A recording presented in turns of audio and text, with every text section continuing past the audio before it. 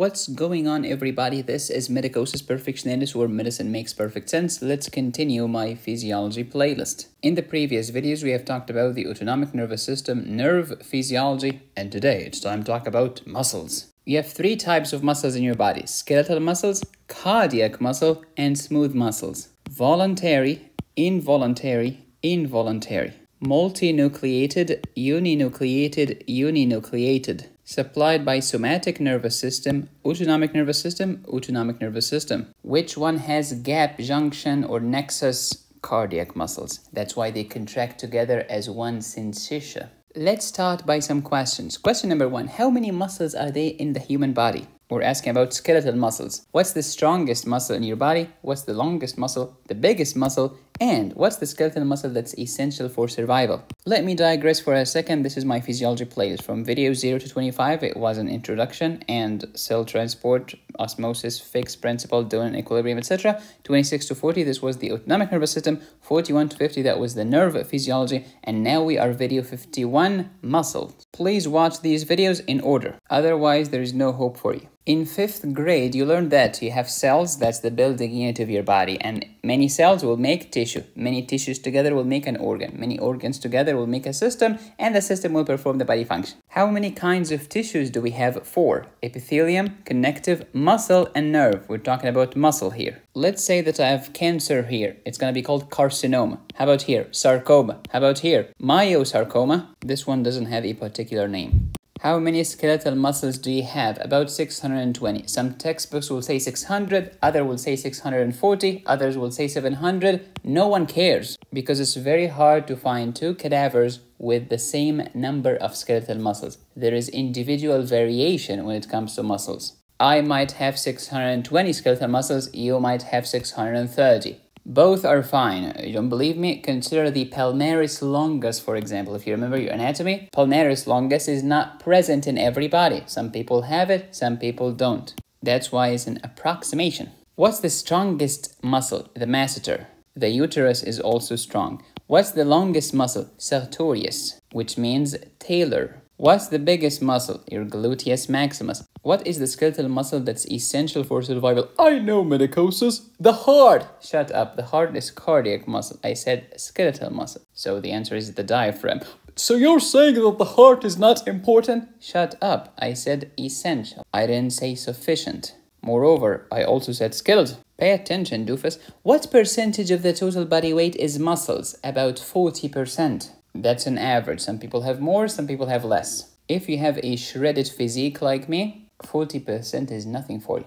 Types of muscles. We have striated muscles and smooth muscles or non-striated muscles. And then the striated are skeletal or cardiac. Why do we call them skeletal? Because they are adherent to your bones. Oh, they are attached to your skeleton. That's why they are called skeletal. Cardiac muscle because it's the heart and smooth muscles because look at this. They are silky smooth, no striations. Voluntary, involuntary, involuntary. If something is voluntary, it is supplied by the somatic nervous system. If something is involuntary, it is supplied by the autonomic nervous system. Here is a difficult question. Let's say that we cut all the nerve fibers that are attached to the heart. Will the heart continue to function? The answer is yes, because it has automaticity. It has the SA node and the AV node. If I cut all of the nerves that are attached to your gut, your gastrointestinal tract, will they continue to function? The answer is yes, because they have an enteric nervous system, the myenteric and the submucosal. Preach. Each skeletal muscle cell has many nuclei. We call it multinucleated. The heart, just one. Mono or uninucleated. Smooth muscle, just one. Functions of skeletal muscles. Breathing, the diaphragm, don't forget this. Posture. As Dr. Jordan Peterson said, well, Stand up straight with your shoulders back. What people did not understand that he was talking about skeletal muscle physiology. You bunch of abhorrent neo-Marxists. Locomotion. Do the locomotion for me. Which means movement. Heat production. The assistant venous return. Yeah, because they squeeze the veins in your lower extremities, pushing the blood upwards. This will increase the preload. If you increase the input, you'll increase the output. No duh. Also, don't forget, Muscles are important for proprioception. Does anyone remember the dorsal column of the spinal cord? Maslow's hierarchy of needs, but now we have Medicosis hierarchy of muscles. Here is the muscle. Each muscle is made of what? Muscle fibers or myofibers because myo means muscles. Each muscle fiber is made of myofibrils. Each myofibril is made of myofilaments, and the myofilaments are either thin actin or thick myosin. Why did we call it actin? Anything that ends in in is usually a protein. Act because it's the protein of action. Because when you contract the muscle, the actin is gonna move towards the midline. Action, baby. All right, how about myosin? In means protein, myo means muscle. It's the protein of the muscle because when you look under the microscope, the thick fibers will appear more prominent than the thin fibers. That's why the myosin is the myo, it's the actual muscle. Okay, medicosis, so we have a muscle, muscle fiber, myofibril, and myofilament. Which one of these doofuses is the actual muscle cell or myocyte? And the answer is the muscle fiber is the muscle cell. So the muscle fiber is the same as muscle cell is the same as myocyte. Myo muscle site cell like erythrocyte, granulocyte, megakaryocyte, thyrocyte. Each muscle fiber is enveloped by sarcolemma, which is a beautiful sheath that contains glycoproteins. Let's zoom in. Each muscle fiber is made of many parallel myofibrils. These myofibrils are embedded in the cytoplasm of the muscle fiber among a complex tubular system. We'll talk about these tubules later. Let's zoom out. Muscle fibers bundle together by connective tissue and they are arranged in parallel fascicles between the tendinous ends of the muscle. You know, like each muscle has an origin and an insertion? Yep, those are the two tendons. Each muscle is made of muscle fibers. Each muscle fiber is made of myofibrils. Let's talk about these doofuses. They are thread-like structures. Let's zoom out. They make up the muscle fiber. Let's zoom in. They are made of two types of myofilaments. Thin actin, thick myosin. These myofibrils are divided by Z lines into sarcomeres. Let's imagine that this is a myofibril. Nice. Here is a Z line, here is a Z line, here is a Z line. Between a Z line and another Z line, it's called a sarcomere. Sarcomere, sarcomere, sarcomere, etc. What does sarco mean? Flesh, muscle. What does mere mean? A piece. A piece of the muscle. Beautiful some pearls for the pros. What is the structural unit of the muscle? The muscle fiber. What is the functional unit of the muscle? The sarcomere, between two successive Z lines.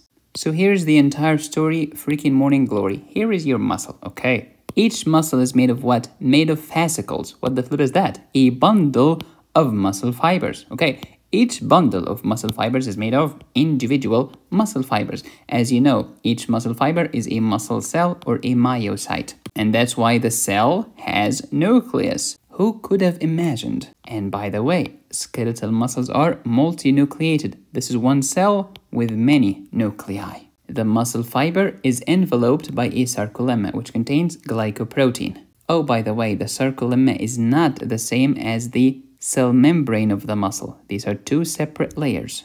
Okay. Each muscle fiber is made of myofibrils, and each myofibrils is made of many sarcomeres. Who made the sarcomeres? The Z lines. Between two Z lines, you have a sarcomere, a sarcomere, a sarcomere, a sarcomere. Why did they call them Z lines? I'll tell you very soon. Each sarcomere has thick filaments known as myosin and thin filaments known as actin. So we have muscle, muscle fibers, myofibrils, myofilaments.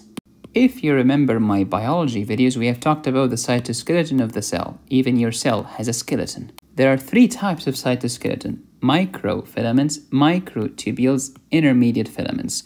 Microfilaments are the actin. Microtubules are the tubulin, intermediate filaments are different depending on the tissue. In muscle tissues, they are called desmin. Let's talk about the lovely sarcomere. What's the sarcomere? It's a space in the myofibrils between two consecutive Z lines. Why did they call them Z? Because it comes from the German word Zwischenscheibe, which literally means an intermediate disc. What a beautiful word. Did your professor tell you that? Anyways, from here to here is a beautiful sarcomere. And this sarcomere is made of thick filaments known as myosin and thin filaments known as actin. Actin is thin and shiny. Myosin is thick and not so shiny. Scientists have noticed that actin is isotropic when exposed to the plane polarized light, but myosin is anisotropic. What the flip is isotropic? Well, iso means what? The same. Tropic or tropy means orientation, direction, something like that. A substance is said to be isotropic if it exhibits the same property regardless of its direction. Put it in any direction, the result is the same. But anisotropic is different. When you change the direction, you will change the properties. If you are isotropic, you will have one refractive index, but if you are anisotropic, you'll have more than one refractive index. And that's why we will refer to actin as I, and we will refer to myosin as A, because isotropic and anisotropic.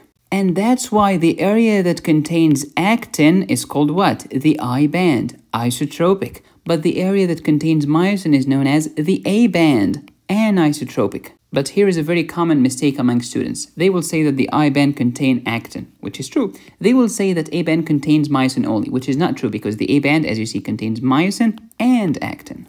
The A band is dark, the I band is light, and then A, I, A, I, etc., etc., and so on and so forth. Have you noticed there is a beautiful area within the A band that has myosin only with no actin? This area right here. We will call this the H zone. H from the German heller, which means brighter. So here's your lovely A band, which is dark, which is in the center of the sarcomere, which contains myosin and actin. And here's your I band, which is light around the Z line, and it has actin only. How about this area that is bright within the A band? It's called the H zone. How about a beautiful line in the midline? It's called M, midline. It actually came from a German word mittel, which means middle. Now, how the flip does the muscle contract? The myosin will not move the actin will move. We will bring those two actins closer to the midline. Pull them inwards. Who's gonna pull them? Cross bridges from the myosin. So think of myosin as a person with arms, and this person will extend his arms and grab the other person and pull that person inwards. These pink pieces are known as cross bridges. They extend from the myosin, they pull the actin towards the midline. And now the sarcomere will get shorter. When your muscle shortens, we call this a contraction. Isotonic contraction for the sophisticated. So here is your muscle before contraction and here is your muscle when it contracted. When I contract, I bring the actins inwards. So what's going to happen to the H zone? The H zone is going to shrink. But what's going to happen to the A band? Since the myosin does not move, the A band is not going to change in length. How about the I band since the actin is being pulled inwards? So the area that contains actin only is going to shorten as well. The myosin structure, two heavy chains, four light chains.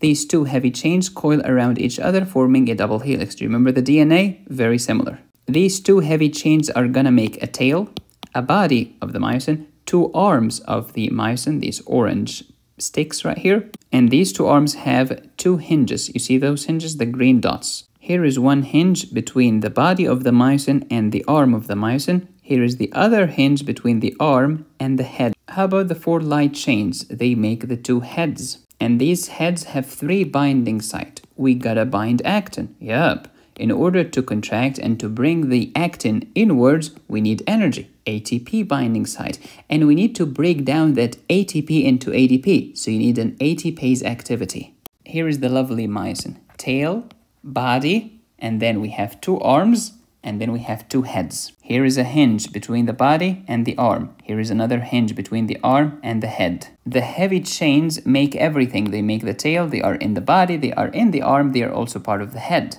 However, the light chains make the heads only. Together we call them cross bridges. Tell me about the lovely actin. Two chains only. They coil around each other forming a helix. Actin has an active site. What's that? It's a site in the actin that's gonna bind. The myosin cross bridges.